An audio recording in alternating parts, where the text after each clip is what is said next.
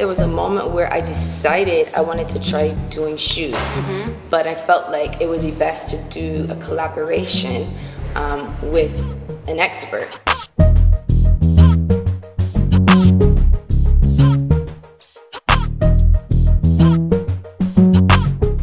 At that dinner, where you with Naomi and I was in that table, this is on that, and I saw that movement of that marvelous neck. that got He's told me this story. I- I- He's told me this This story. is the truth.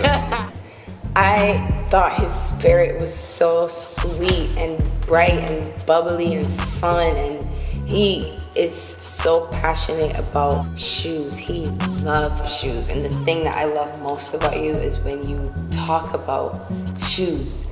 When you even coming up with an idea, when we were just brainstorming, every time you liked something, I knew when it was right because you would say, ooh, and then you would just get back to the sketch, back to the sketch. You're so I love it. animated, and I love that. I cannot fake it.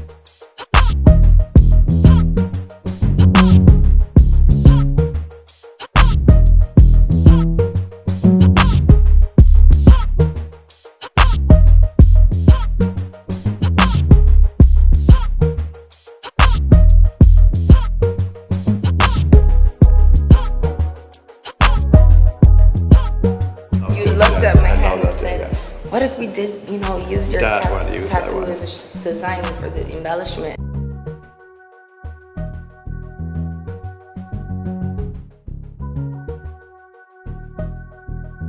I want everything that I do to be done in, in a way where it's credible and authentic. 'cause he is the shoe king. How many pairs of his do you think you own? That is disgusting. Don't ask.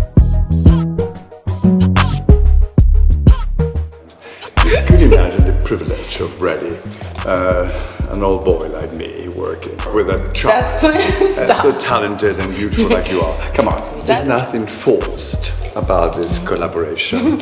it's just being one of the things I do in life is spontaneous. I never do think about interest or whatever. Just, just like happen. Cheers to British Vel.